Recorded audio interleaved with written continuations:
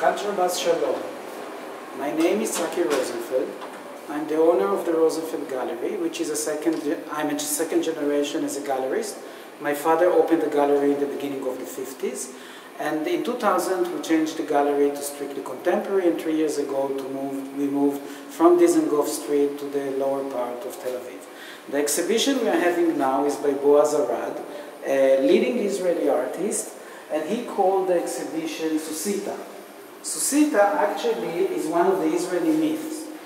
Sussita was the first car that Israeli actually made in the, in the 60s.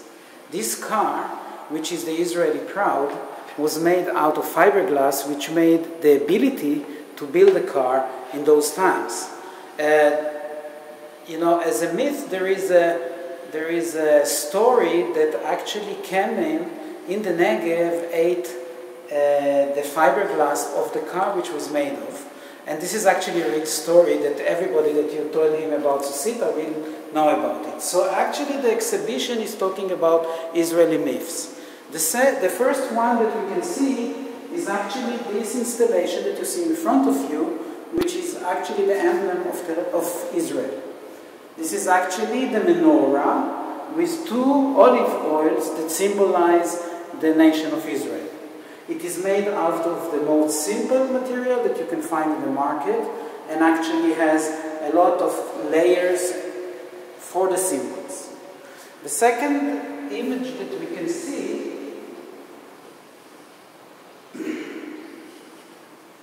is actually uh, a classroom that after school the children have uh, turned the table upside down and usually you find under the chewing gums but here the children made out of the chewing gum a sculpture of Ben Gurion who was the first prime minister of Israel and it is well known that he was going to the seashore, to the beach to make yoga training and there is a very famous photograph of Ben Gurion in the same position.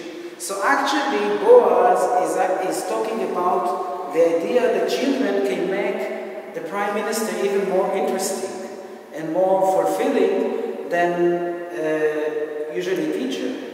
But overall, we can understand that he had to chew a lot of chewing gums to make this uh, sculpture.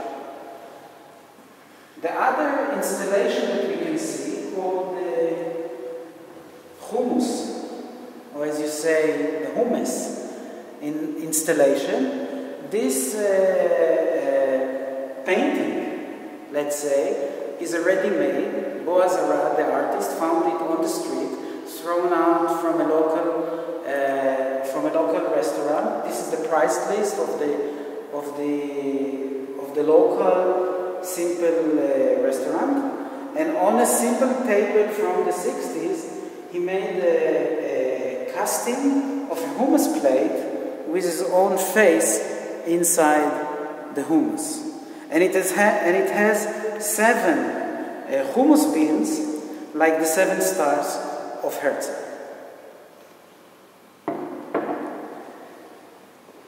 This sculpture is actually the donkey of the Messiah, which is white. And the donkey has many symbols in every culture. But here, what, what Boaz did, he actually made the tail of the Messiah donkey as a plant called the Wandering Jew. Then, uh, if we are going back to the first myth that we were talking about, the Sussita, actually this sculpture was called Sussita by the artist. It is made from the same fiberglass material as the real Sussita was made. It is looked like the inside of the Sussita because in the, in the car you could see the fiberglass when you went into the car. The mountain uh, here is the Israeli crowd, and this is the way that the Sussita was looked from the outside. Actually, Sussita is not only a car, it is also a mountain in Israel, which is in the Galilee. So the artist made a mountain which is not really the Sussita mountain, And it is not really a car, but it has a dimension that can contain a family like a family car. And this is the rest of the exhibition. Thank you very much, and shalom.